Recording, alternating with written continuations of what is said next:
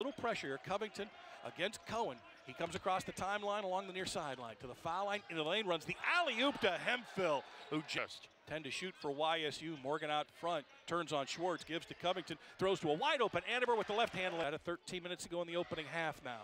Morgan by the Andover screen, left wing, left alone, three-pointer, perfect. Wing now on Quisenberry, dribble the ball off his foot, scooped up by Akuchie of YSU, races on to the left end of the floor. Akuchie over. Andover got his own miss, threw it back up too hard off the glass. Bell can't not follow. He grabs it again. This one he forced up and in. Akuchie pops out, makes the catch, feeds the Cathcart. Going to drive to the right of the lane, going to scoop one up and in off the glass. Gives the McCloud near corner. Working on Morgan to the right of the lane. Turns, takes the tough shot and buried it. 22 on the shot clock now. Ball quickly into Covington. Far sideline. Long jumper's good. It goes into Quisenberry by the Andover screen. Six seconds left in the half. Quisenberry, right wing. 4 3. Bang, bang. Darius YSU for Simmons. Cohen right wing with the ball. Goes around the screen of Hemphill. Finds him nicely underneath. It looked like a three, Rob, but uh, close enough for the officials to review it.